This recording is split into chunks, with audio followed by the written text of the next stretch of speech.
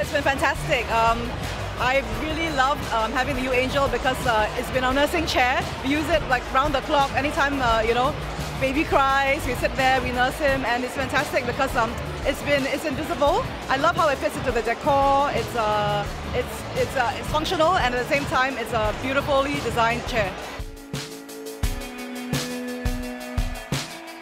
Uh, usually, I like to come home and stretch out on the uAngel. Um, open it to full length, lie down, stretch out, and just unwind all those tense muscles from a hard day's work. It's very strong, so if you like a, a strong massage, this is the chair for you. It's great. I mean, I really, really enjoy it. It's my first real massage chair, and um, it's been a fantastic experience.